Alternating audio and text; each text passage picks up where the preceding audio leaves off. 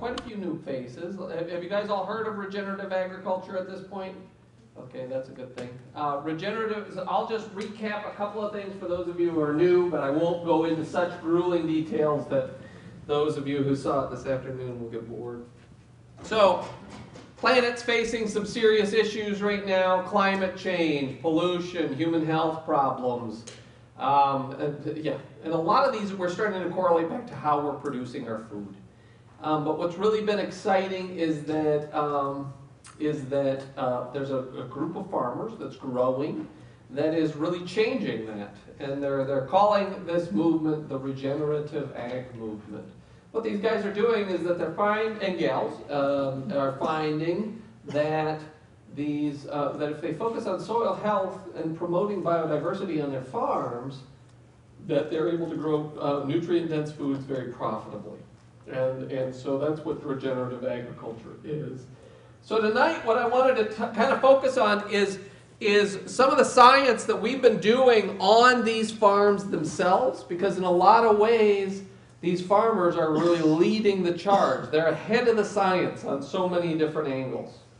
And then I wanted to talk a little bit more about our own story and what we're trying to do with um, Blue Dasher Farm and Ecdysis Foundation. This is our 501c3 and this is our demonstration farm. So without further ado, we're going to talk about uh, some work that um, some work that one of my uh, master students, Jacob Pecenka, just finished up, and we're going to talk about poop. There's a Uh, and specifically maggots in poop. So it just gets better and better, right? so there's a there's there's a component of this audience who, when they saw this, were kind of like, "Yeah, the cow turd pick," right? Uh, fresh steamer right there. Dung is important. Dung is important.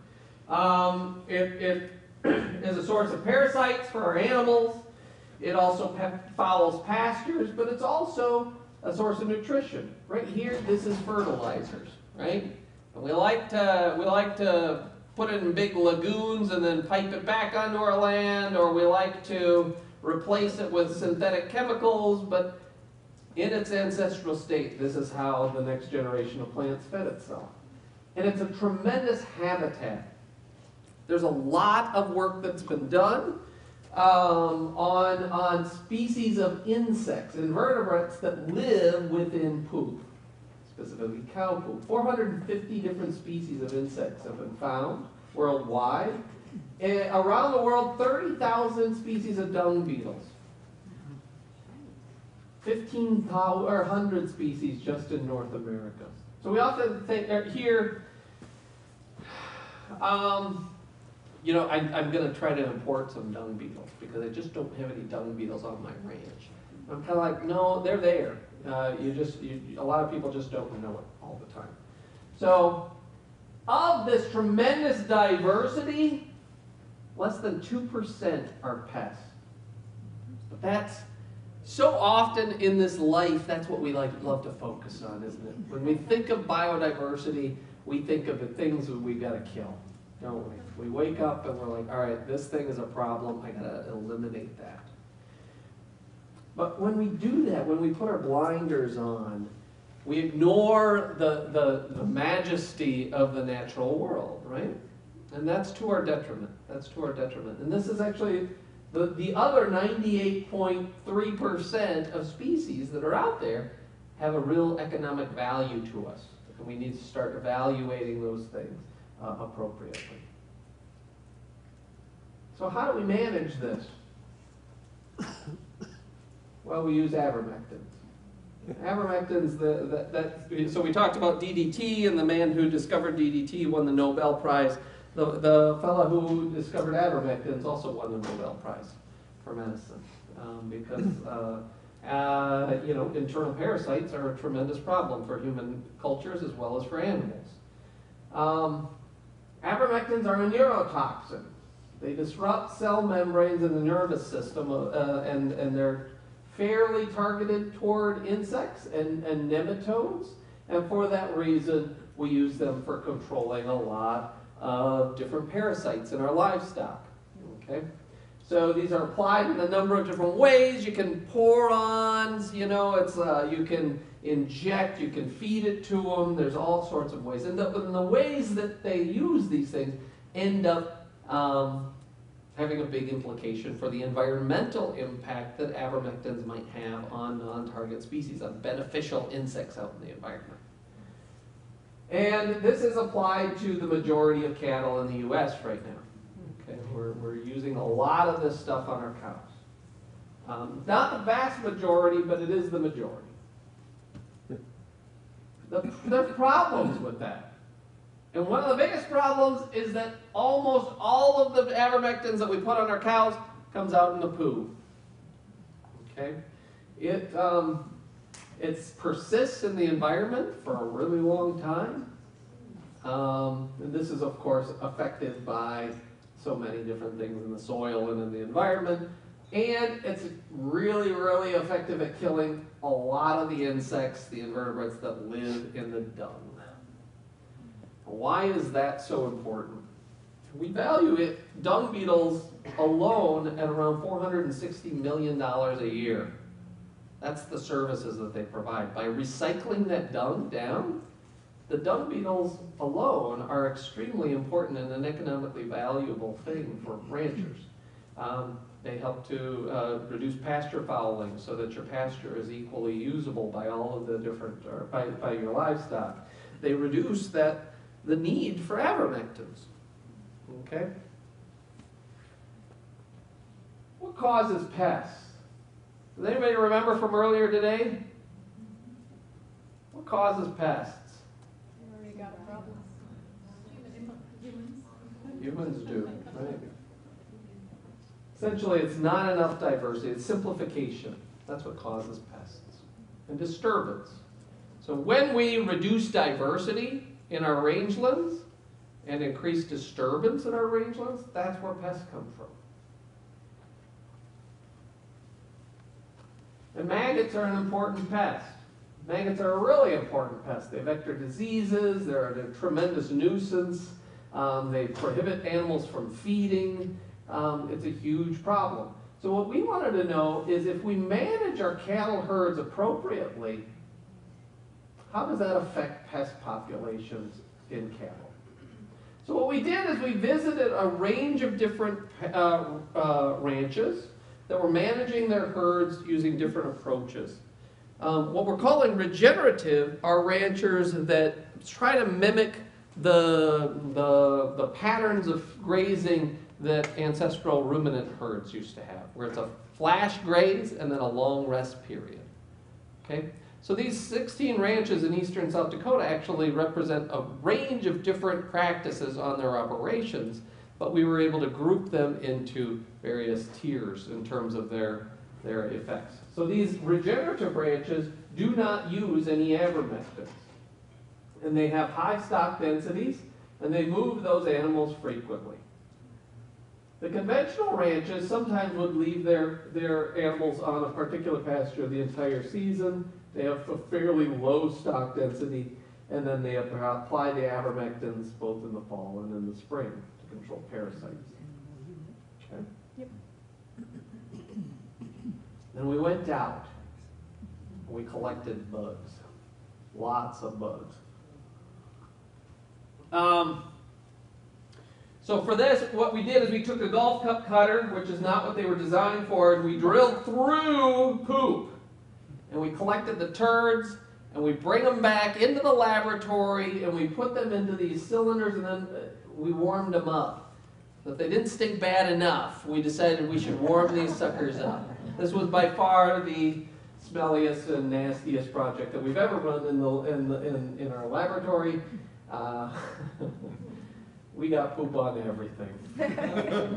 um, but as, as those pats uh, warmed up, what happens is that all of the insects try to escape the light. And so we're able to collect a lot of the diversity that lives inside of the turds, but down here, and then we can sort through and identify all of those different species. And we did. Just for this chapter, Jacob uh, his thesis, he identified more than 116,000 insects down to species level. Wow. For his thesis, almost 200,000 insects. That's a tremendous, this is the most comprehensive bioinventory of turds that we have. Um, it's really, uh, we, uh, estimate that in a particular cow pat, there's more than four hundred insects. Which is a lot of critters in there, isn't it? It's a lot. hundred and seventy-two insects were found in cow pats just in eastern South Dakota. That is a ton of diversity. Ton of diversity. Is species richness, the number of species in each of those uh, ranches. This is the diversity. So here we have the regenerative, these are the ranches that kind of fell in the middle, and these are the conventional ranches. Species diversity was significantly reduced in the insect community by the avermectins and conventional management. Diversity was also reduced. I'm going to talk about why that diversity is so important in a few minutes, for those of you guys who missed it earlier. Just a clarifying question, are the insects in the poop when it leaves the body of the animal? No. Or are coming up from? Within minutes, these insects end up colonizing that pat. So they're not coming out of the animals, the poop chute, they're coming out and they're finding it very soon after, okay? And they're, they're in tune, right? They're in tune with that. Um, Because it is, it's such a great resource for a lot of bugs. There's a lot of nutrition in, in poop. They're, they're, the insects are in the soil or the air or? A little bit of both. Everywhere. Yep, they're kind of all over the place, and they're just finding these paths. Um, especially things like the specialists, like flies and dung beetles, within minutes. But then that insect community really changes. Yeah, they're great smellers. Yeah. That insect community changes as the pad ages, and I won't get into that so much, but that's a really cool database too. That, that was another aspect of this thing. I mean, the reason there's 172 different species is because as that pat ages, each group of insects specializes on the first two days. And then there's another group of insects that specialize on the days two through five, and so on and so forth. Mm-hmm. So that until they are able to exploit those Does it resources. follow the bell curve For what? For the, for the numbers of insects that are in the cow pie? In other words, there's a small number at the very beginning. and No. mid- Nope. What happens is right at the very. Uh, so how does the how does that uh, how does that population end up happening over time in the pat? Does it start? Well, I suppose it depends on where you. Just, I I think it's more like this, where it's got a long tail. So um, what happens is that in the first two days, if you don't get a lot of colonization, I mean your pat just doesn't degrade very well, and so um, you've got this you've got this situation where you want early early colonization by these specialists and then those open it up for so much of the rest of the season. Right. maggots were significantly higher in the insecticide treated animals that's not supposed to happen right we're reacting to those pests. We're control. We're in the ones in control, right? That's why we buy this stuff, is to keep us in control. Predator abundance is here. Each of these is a turd. This is avermectin. These are predators of the maggots. As avermectin in the poo goes up, you see the predator populations go down. And this ratio of maggots per predator, you want a lot of pre uh, predators for every maggot, and so you see that there's a lot more maggots per predator up here. The predators can't control all those maggot populations in the conventionally managed treatment. What's going on here? What's going on here? Why is this happening? What we're saying is these ranchers didn't just abandon insecticides from their operations. What these ranchers did is they replaced insecticides with good management. And they didn't need the insecticides anymore. Okay? The insectis, the, the pest problems were telling them something about their system, weren't they? By their very definition, insecticides are an addiction. The more you use, the more you need. Who wins in an addiction scenario again? Yeah. Yeah. The addict, right? It's not the addict. Pests aren't the problem, folks. If you have a pest in your field or in your yard or something, identify the underlying problem. Stop reacting to the symptoms. Okay? Because there's a lot of people that are winning off of you reacting to symptoms. And it ain't you. Gotta change the system. Change how you're managing your system to address that central problem. What is the problem? Not enough diversity, too much disturbance.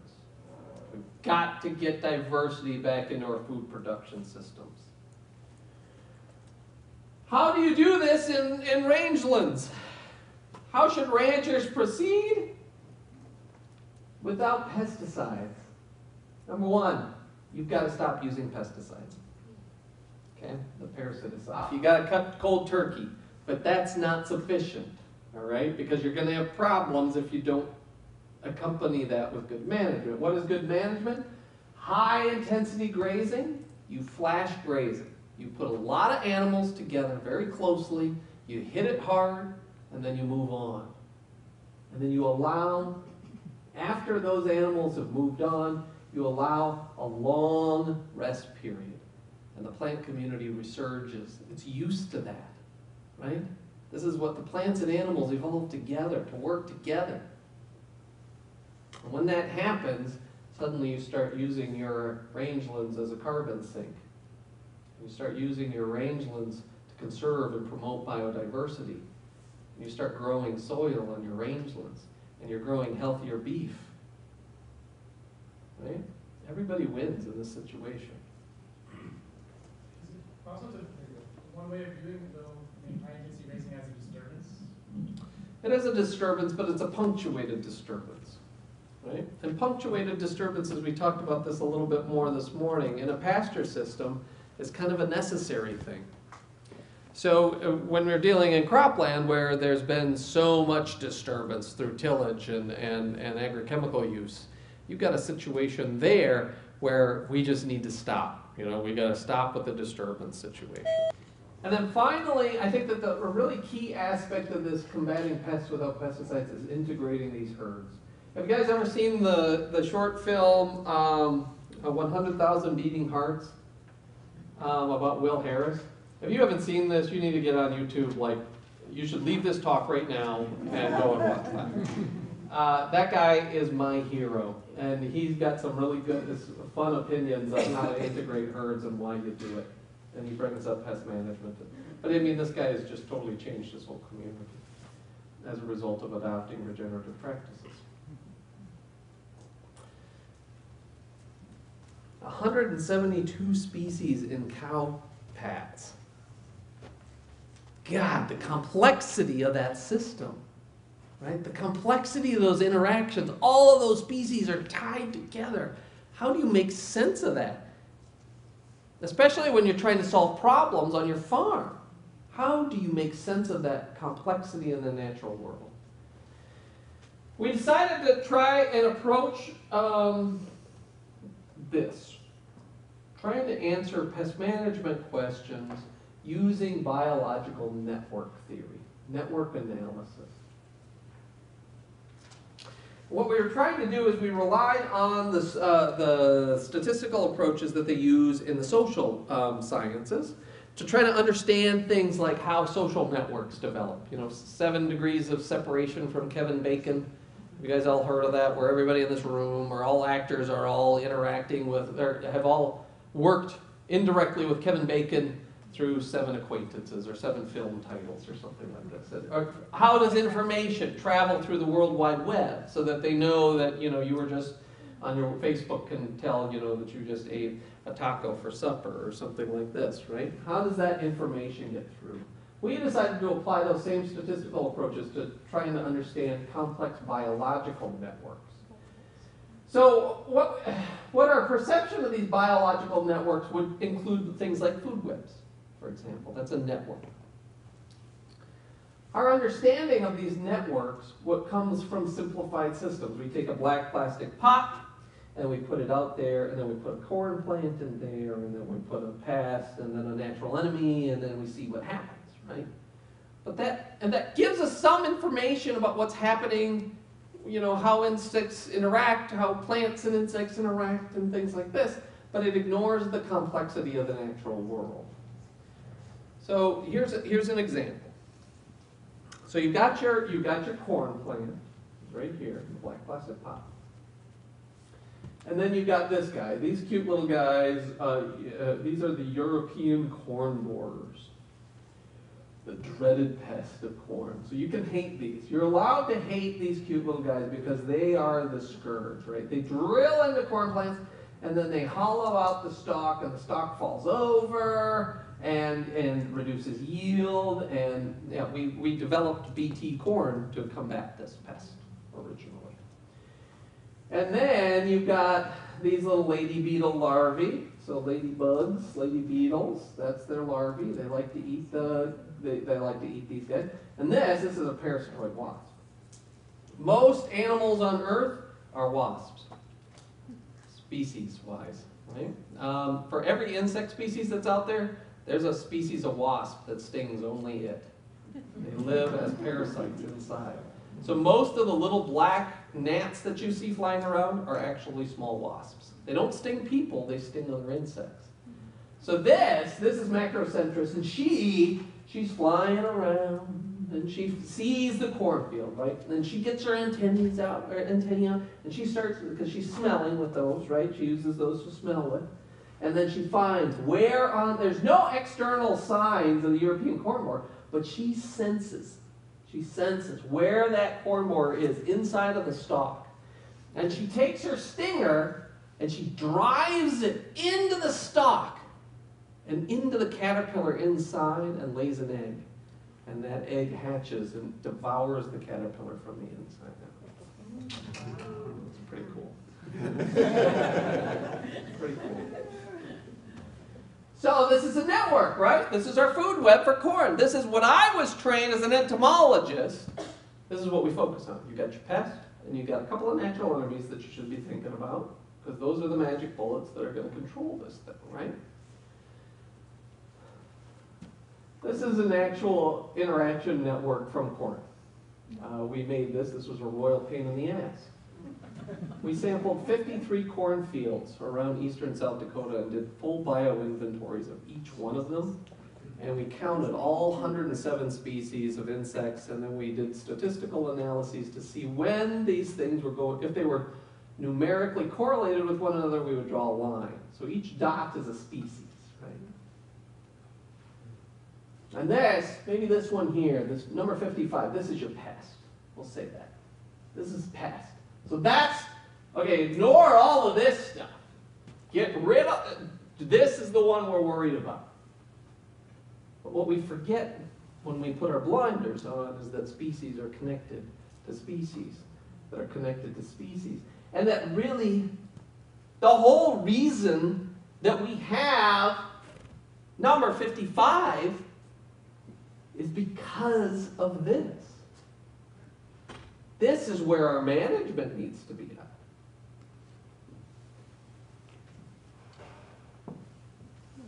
Okay.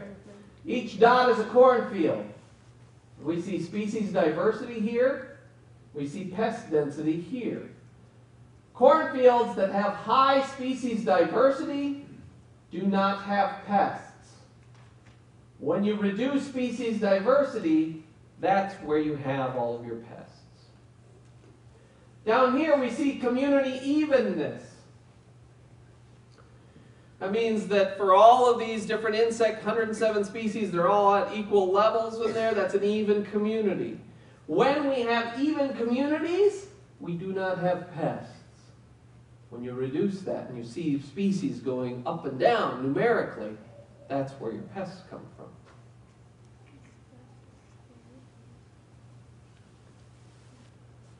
Uh, remember that big ball of spaghetti noodles? Well, this is, I pulled out the main components of that. So this is a cornfield that has very low pest abundance. Look at all of the connections. Look at them all. These species are interacting with each other all over the place. This is a cornfield that has high pest abundance. Where'd all the interactions go? It's broken. There's even a pentagram in there. It's a sign of the devil. Right? Just the easiest. I said that joke down in the, it was in the Bay Area a few months ago, and, um, and a lady came up afterwards and she was like, I was really offended by the pentagram joke. Um, I'm a witch, and it's not the sign of the dog. Like, oh, give me a break. give me a break. There's one in every crowd. Didn't I used to work for you at the USDA? Uh, average degree, so this is the connectivity. As we get more connected cornfields, uh, we find that the, these the cornfields simply don't have the pest anymore. And that when you break those connections, that's where your pests come from. How do you increase species diversity in cornfields? Plants. Plants. Understory plants. Lots of different plants. How do you reduce diversity in cornfields? Herbicides, fungicides. You know, buy a jug. It doesn't matter what's on the name. Just buy a jug and spray it out there. That's how you reduce insect diversity.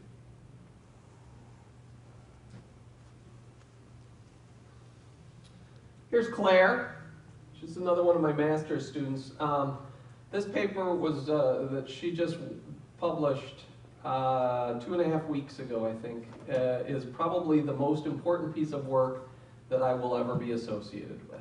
Um, in one day, this paper went into the 99th percentile of all scientific research ever published in terms of social media impact. Oh One day.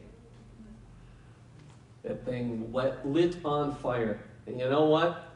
You ain't gonna get this from any place else unless you support it. Okay? That's the kind of science we're doing right now. Hmm. What she did is she went out into farmers that were farming cornfields regeneratively.